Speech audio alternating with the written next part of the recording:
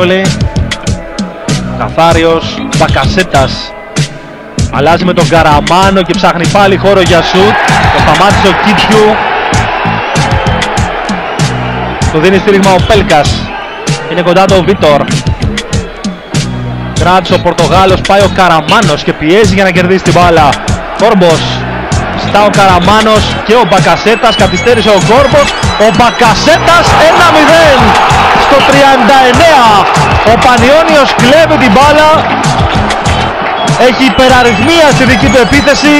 Ήταν δύο παίκτες αμαρκάριστοι και ο Μπακασέτας δεν είχε πρόβλημα να νικήσει το Δελίδη για το 1-0 του Πανιωνίου στο μάτς με τον Τάσο Μπακασέτα να σκοράρει για δέκατη φορά στη σεζόν.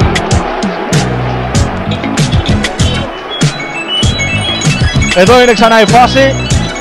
Δεν υπάρχει offside στην πάσα. Ο Μπακασέτας πλασάρει. Σε ένα γκολ που πάντως ξεκίνησε και αυτό από πίεση ψηλά και κερδισμένη μπάλα για τον Πανιόνιο σε μονομαχία με τον Βίτορ που όπως είδατε στο πλάνο έχει μείνει κάτω.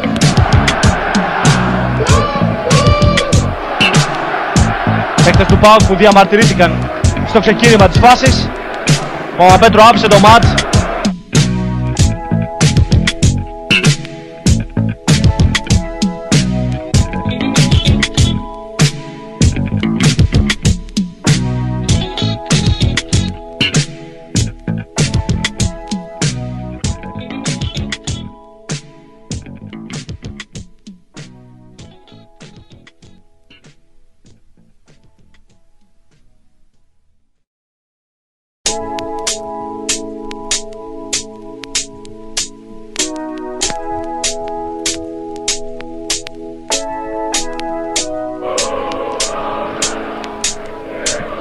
Μπακασέτας Ανσαριφάρ Πάλι ο Μπακασέτας Καταπληκτικό γκολ στο 66 2-1 ο Πανιόνιος.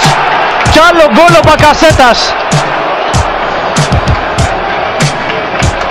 Στον καλύτερο μήνα της καριέρας του αναμφίβολα Κάνει εκπληκτικά πράγματα Πετυχαίνει ένα ακόμη Πολύ όμορφο γκολ με σούτ εκτός περιοχής Για το 2-1 του Πανιωνίου Δεύτερο γκολ του στο μάτς και ενδέκατο στη σεζόν. Και αυτό υποψήφιο για καλύτερο γκολ της αγωνιστικής και τα τρία της βραδιάς στη Νέας Σμύρνη. Τρία πολύ όμορφα γκολ. Δύο από τον Πανιόνιο και ένα από τον Μπάουκ. Εδώ είναι ξανά η πάσα του Ανσαριφάρ και το σου του Μπακασέτα. Λέγαμε στο πρώτο εμίχρονο ότι δεν του έδωσε δικαίωμα ο Πάουκ να εκτελέσει. Εδώ ο Βίτορ δεν πρόλαβε πήγε πάνω του αλλά δεν του έκλεισε το οπτικό πεδίο όσο θα ήθελε. Έπεσε αλλά δεν μπόρεσε να κάνει τίποτα. Ο Μπελίδης αυτή την εκπληκτική εκτέλεση του Μπαγκασέτα για το 2-1 του Πανιωνίου